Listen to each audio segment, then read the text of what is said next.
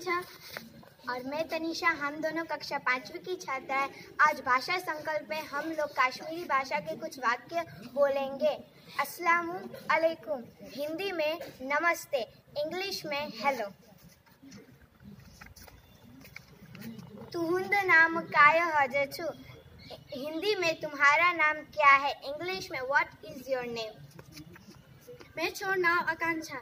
हिंदी में मेरा नाम आकांक्षा है, इंग्लिश में my name is my name is Akanksha.